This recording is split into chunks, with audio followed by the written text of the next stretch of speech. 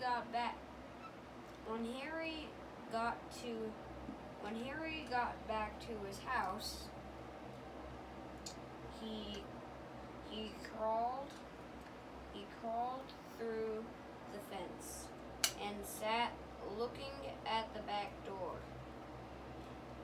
One one of of the family looked out and said, There's a strange dog in the backyard. By the way, ha- has anyone seen Harry?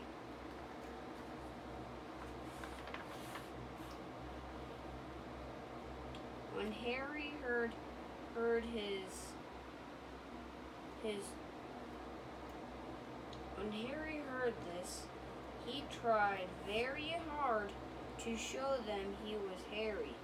He started to to do all his old clever tricks.